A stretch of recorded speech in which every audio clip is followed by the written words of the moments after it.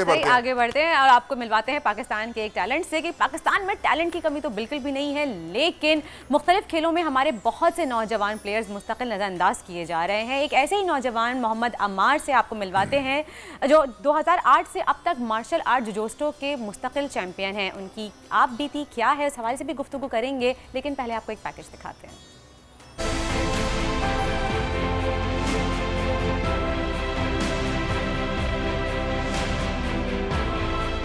मोहम्मद अम्मार 2008 से अब तक मार्शल आर्ट जुजिस्टो नेशनल के मुस्तकिल चैंपियन। अम्मार ने एशियन चैंपियनशिप 2020 में ब्राउन मेडल जीतकर पाकिस्तान का नाम रोशन किया, लेकिन अगले ही महीने वर्ल्ड चैंपियनशिप का वक्त आ गया और हमारा ये बेहतरीन टैलेंट पाकिस्तान की नुमाइंदगी सिर्फ़ इसलिए नहीं कर सका क्योंकि स्पॉन्सर नहीं था।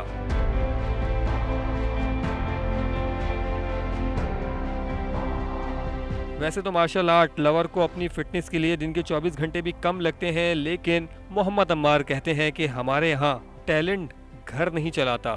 सो वो एक छोटी सी दुकान में फ़ूड का बिज़नेस रन कर रहे हैं। मोहम्मद अमार इस वक्त हमारे साथ मौजूद है। हमारे ये बताइए कि आपने यकीनन बड़े बड़े मुकाबले जीते हैं। नेशनल चैंपियनशिप जूजिट्सू की जीती है। इंटरनेशनल मुकाबले में आप जा रहे हैं। क्यों आपको स्पॉन्सर नहीं मिलते? क्या वजह है? आप क्या समझते हैं? सर स्पॉन्सर ना मिलने की वजह तो मैं नहीं बता सकता, लेकिन मैं ये बता सकता हूँ कि मैंने सिर्फ़ नेशनल चैम्पियनशिप नहीं जीती है, मैंने वर्ल्ड चैम्पियनशिप का सिल्वर मेडल भी जीता हुआ है 2015 में, और Asian indoor and martial art games का सिल्वर मेडलिस्ट हूँ। 2014 में मैं एशियन बीच गेम्स का गेम्स का गोल्ड मेडलिस्ट भी रहा हूँ। लेकिन उसके बावजूद मतलब मार्शल आर्टिस्ट को पाकिस्तान में इतनी पजीराई नहीं मिलती जितनी के दूसरे अदर स्पोर्ट्स हैं जिसमें क्रिकेट है। क्रिकेट ही है, एक तो फ़िलहाल तो वाहिद स्पोर्ट्स जो पाकिस्तान में जिसको पजीराई मिल रही है और लोग जो है ना देख भी रहे हैं, उसमें इंटरेस्ट भी ले रहे हैं, लेकिन मार्शल आर्ट का इंटरेस्ट ना लेना बेसिकली तो असल वजह जो ये है, वो ये है कि पाकिस्तान में लोगों का मार्शल आर्ट की तरफ़ इंटरेस्ट नहीं है। इंटरेस्ट ना होने की वजह यही है कि हमारे पास जो टैलेंट है जो कि मेडल होल्डर्स हैं जो कि जीत कर आ रहे हैं इंटरनेशनल और नेशनल चैम्पियनशिप्स में उनको प्रमोशन नहीं मिल रही है वो हाईलाइशन नहीं मिल रही है जिसकी वजह से लोगों में इंटरेस्ट नहीं पैदा हो रहा। ज़ाहिर है अगर आ, मैं अपनी फैमिली में एक वाहिद मैं नेशनल प्लेयर हूँ इंटरनेशनल प्लेयर हूँ मुझे देख के अब वो जब वो देखते हैं कि यार मैं इतने बड़े प्लेटफॉर्म पे खेलने के बाद मैं वो पजीराई नहीं हासिल कर पा रहा तो मेरे जो आने वाली जनरेशन मेरे जो ख़ानदान में मेरे आस पड़ोस में जो लोग हैं वो मुझे देख के क्या इंस्पिरेशन हासिल करेंगे? तो बस ये वजह है लेकिन हमार लेकिन हमारे एक मेरा सवाल और बनता है यहाँ पे। देखें दुनिया भर में दुनिया भर में हम देख रहे हैं यूएफसी का बड़ा ट्रेंड आ गया है एमएमए मिक्स मार्शल आर्ट्स का जब भी ज़िक्र आता है तो हमें वो केज फाइट का तस्वुर आता है कि वो ग्राउंड फाइट हो रही होगी केज बना हुआ होगा। आप कर रहे हैं जूजिट्सू चाहे जूजिट्सू हो चाहे क्यू कुशन हो। दोनों एक ऐसी फाइटिंग स्टाइल्स हैं, जो इस वक्त बिल्कुल साइड पे हो गए हैं दुनिया में, और इनकी तरफ़ बिल्कुल तवज्जो नहीं और सारी तवज्जो केज फाइट के ऊपर आ गई है किक बॉक्सिंग के ऊपर आ गई है बॉक्सिंग के ऊपर आ गई है, और जो ट्रेडिशनल फाइटिंग स्टाइल्स है, उनको बिल्कुल साइड लाइन कर दिया गया है, और पाकिस्तान में वैसे ही आप जानते हैं, सारा पैसा तो क्रिकेट पे लग जाएगा पी एस एल चार सौ, पाँच सौ करोड़ ले जाएगा, फिर ना स्कॉश चैंपियन बचे, ना हॉकी चैंपियन बचे स्नूकर चैंपियन अल्लाह का शुक्र आ गया है। तो हमारा डोंट यू थिंक कि आपको भी अब अपग्रेड करना चाहिए, अपने फाइटिंग स्टाइल में एमएमए की तरफ़ आना चाहिए? सर हम मैं बेसिकली एमएमए की तरफ़ भी आ रहा हूँ और एमएमए के मेरे जो टीम मेंबर्स हैं वो भी एमएमए की तरफ़ आ रहे हैं। Great. लेकिन मैं आपको ये बताता चलूँ कि ये जो एमएमए जो बेस करता है ना वो जुजिट्सो पे बेस करता Obviously. है जुजिट्सो इसका बेसिक स्टाइल है। अगर जुजिट्सो नहीं किया हुआ होगा ना किसी ने तो वो एमएमए में कामयाब नहीं हो सकता। आप 80 परसेंट एम के जो चैम्पियंस हैं उनके आप रिकॉर्ड उठा के देखें वो सारे जो है ना वो जुजिट्सो के ब्लैक बेल्ट हैं। ज़्यादातर जुजिट्सो के ब्लैक बेल्ट हैं एट परसेंट तो वो जुजिट्सो जो है, वो इसका बेसिक आर्ट है। लेकिन ये है कि अभी हमने इसको आगे लेके चल रहे हैं। इसको एमएमए की तरफ़ भी लेके जा रहे हैं हमारे जो प्लेयर्स हैं। और हमारी जो टीम है, वो एमएमए की तरफ़ भी जा रही है और जुजिट्सो की तरफ़ भी जा रही है। क्योंकि मैं ख़ुद, बजात ख़ुद मैं खेलता हुआ आ रहा हूँ। 2008 से मैं इंटरनेशनल इवेंट्स खेलता हुआ आ रहा हूँ। और मैं उसकी प्रमोशन में भी लगा हुआ हूँ। मैं चाहता हूँ कि जुजिट्सो भी प्रमोट हो। तो बस ये है कि आगे इंशाल्लाह इसको देखेंगे रिफॉर्म्स करेंगे आगे जाके। चलें। चलें जी।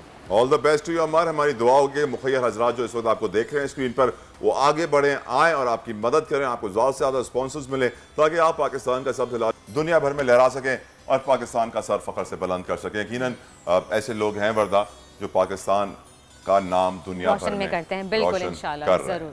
जी। आगे बढ़ते हैं और अब बात करेंगे एक आर्टिस्ट की। हमने खिलाड़ी की बात तो कर ली अब एक आर्टिस्ट फनकार की बात कर लें।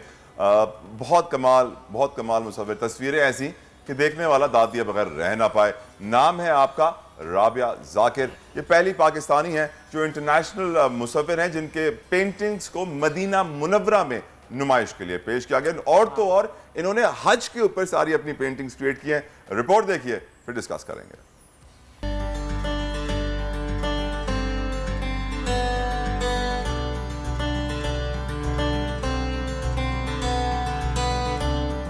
सऊदी अरब के शहर मदीना मुनव्वरा में पाकिस्तानी फन पारों की नुमाइश। पहली बैन अवी आर्ट नुमाइश को देखने के लिए सऊदिया के दीगर शहरों से भी आर्ट के मद्दा जमा हुए। हाजरीन की जानब से आर्टिस्ट राबिया जाकिर की पेंटिंग्स को बेहद पसंद किया गया। राबिया जाकिर वो पहली बैन अवी मुसवरा हैं, जिनकी पेंटिंग्स की मदीना मुनवरा में सोलो नुमाइश हुई, जिसमें उन्होंने मनासिक हज और सऊदी बादशाह की तस्वीरें नुमाइश में रखी, जिसे हाजरीन की जानब से पजराई मिली। इसके अलावा इनके फन पारे सिफारती हलकों में भी काफ़ी मकबूल हैं। राबिया जाकिर की पेंटिंग्स 50 से जायद सिफारत खानों में मौजूद हैं।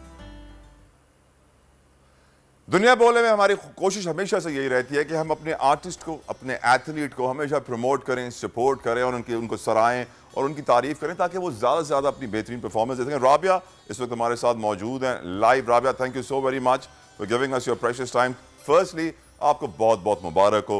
यकीन पूरा पाकिस्तान इस वक्त आप पर फख्र कर रहा है। आपके उस्ताद कौन थे? हु वॉज़ योर इंस्परेशन परेशन और आप मदीना मुनवरा में पहली पाकिस्तानी खातून है जिसने नुमाइश की। ये फीलिंग कैसी थी और यहाँ तक आप पहुँची कैसे? सफ़र कैसा था, ये बताइए। पहले तो थैंक यू सो मच मुझे इनवाइट करने का। और दूसरा ये कि मेरी हमेशा से जो इंस्पिरेशन जो थी, अगर एज एन आर्टिस्ट तो मैंने गुलजी को जो है, उनको रखा था एम कि मैं एक टाइम पर आए कि मैं उस, उनसे मिलूं। बट अनफॉर्चुनेटली उनसे नहीं मिल सकी जब अपने इस कैरियर में स्पीक तक पहुँची हूँ।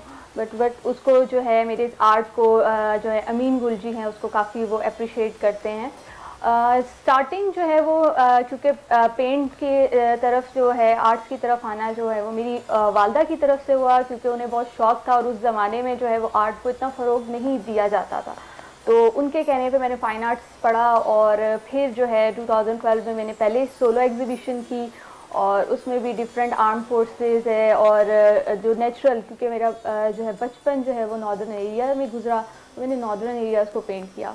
और फिर ऑन एंड ऑफ़ पेंट करती रही तो फिर एम्बेसीज की तरफ़ आ गई। 2015 में मेरा पहला एग्जीबिशन रोमेनियन एम्बेसी के लिए हुआ और फिर उसके बाद से और जो है वो मेरा एक सफ़र जो है डिप्लोमेट्स के लिए ख़ास तौर पर वो स्टार्ट हो गया। अच्छा राबे जब भी कोई आर्टिस्ट से हम बात करते हैं तो यकीन उनका एक बैकग्राउंड होता है, किसी ने एन सी ए से पढ़ा हुआ होता है, किसी ने इंडस वैली से तालीम हासिल की हुई होती है। आपने कोई प्रोफेशनली सीखा कहीं से? हाँ जी, मैंने बैचलर किया फाइन आर्ट्स में।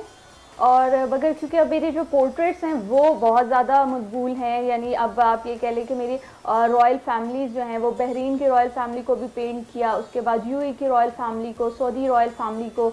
इनफैक्ट अभी जब मेरी सऊदी अरब में जो एग्जीबिशन हुई थी, उसमें मैंने गवर्नर मक्का गवर्नर मदीना उनको पेंट किया और वो जो है, वो बाद में उनको, वो प्रजेंट भी हुई हुई पेंटिंग्स तो ये जो पोर्ट्रेट्स हैं ये मेरे सेल्फ उसको खुद मैंने सीखा और क्योंकि मैं पहले लैंडस्केप्स पेंट करती थी बट लेटर ऑन डिमांड्स पर मैंने पोर्ट्रेट्स बनाना सीखा तो आप ये कह लें कि पोर्ट्रेट्स मैंने खुद सीखे। राबे पाकिस्तान में बहुत सारी रॉयल फैमिलीज़ हैं हम जानते हैं पाकिस्तान में बहुत सारी रॉयल फैमिलीज़ हैं। शरीफ ख़ानदान है हम जानते हैं बाप पी एम बेटा सी एम इस तरीके से मौरूसी सियासत है जरदारी साहब हैं। तो पाकिस्तान की रॉयल फैमिलीज़ की आपने नहीं बनाई पेंटिंग्स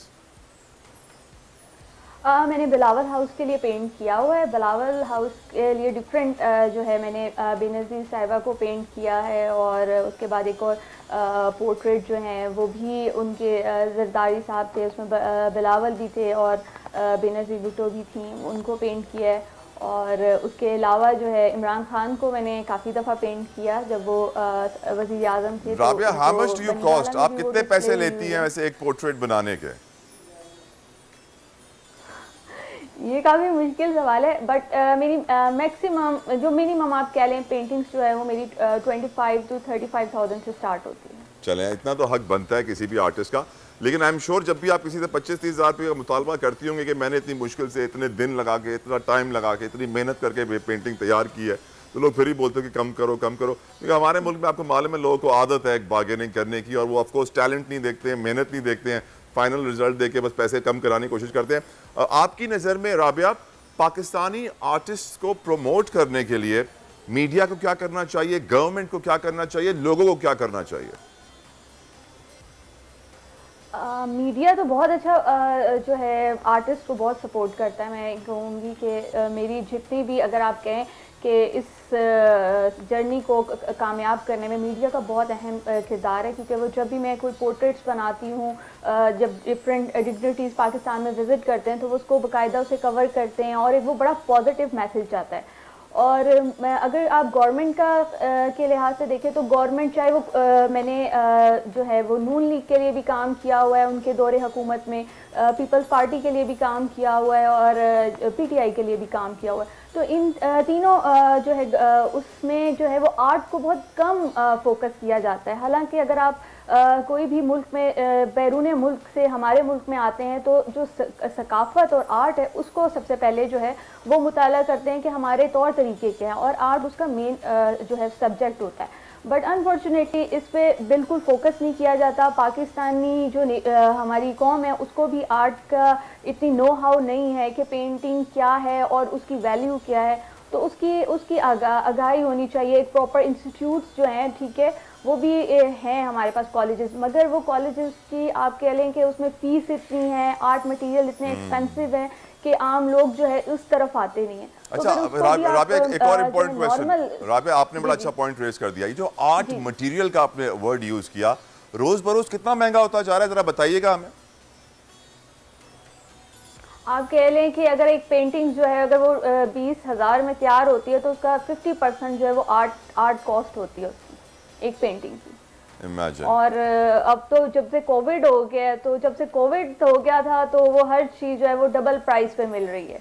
और जो आर्टिस्ट जो फेम थोड़ा सा फ़ेमस हो जाते हैं तो उनको शॉपकीपर्स उनको डबल प्राइस पे ऑलरेडी दे डबल से ट्रिपल प्राइसेस पे देते हैं। तो ये जो चीज़ है ये चीज़ ख़त्म होनी चाहिए। और गवर्नमेंट जो है ये जिस तरीके से डिफरेंट टेक्निकल्स चीज़ें सिखाई जाती हैं मैं मैं ये गवर्नमेंट से कहूँगी कि इसी तरीके से पेंटिंग्स ख़ास तौर पे लेडीज़ को और आर्ट जो है वो सिखाया जाए और वो ताकि घर में बैठकर भी ऑनलाइन क्योंकि अब तो बहुत शुक्रिया Rabia for giving us your precious time हमारी दुआएँ आपके साथ हैं और हम उम्मीद करते हैं कि आपका ये इंटरव्यू देखने के बाद और भी हमारे आर्टिस्ट आगे बढ़ें और पाकिस्तान का नाम रोशन करें।